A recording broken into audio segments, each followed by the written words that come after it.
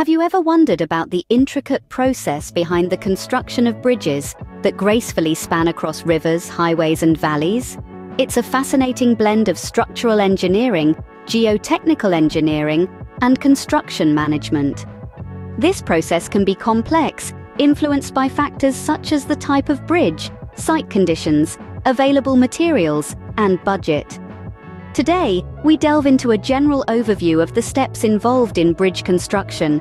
Start with a site survey and geotechnical investigation.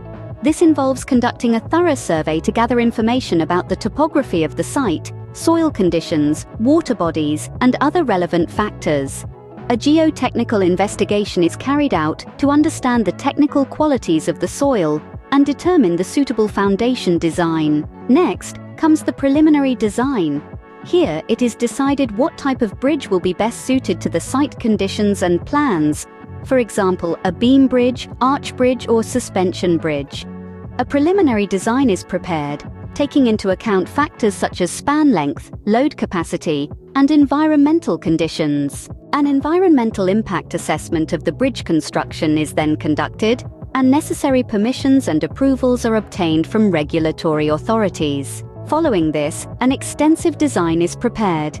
This includes detailed mechanical drawings and specifications, including foundation plans, base details, and material specifications.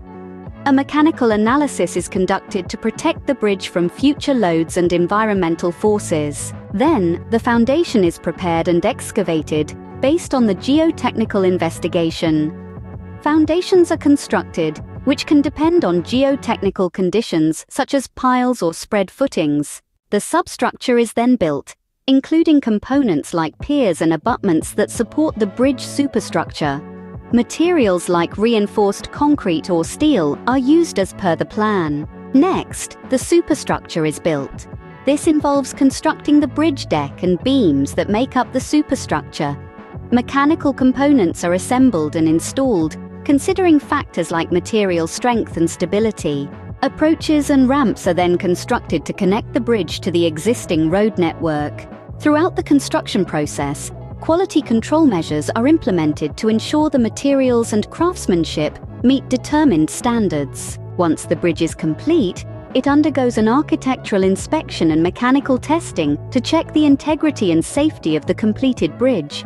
Traffic control and safety measures are implemented during the construction to ensure the safety of workers and the public. Lastly, documentation is prepared, including as-built drawings and specifications. Necessary paperwork is completed and the bridge is handed over to the relevant authorities. Remember, the steps and details can vary depending on the type of bridge and site regulations.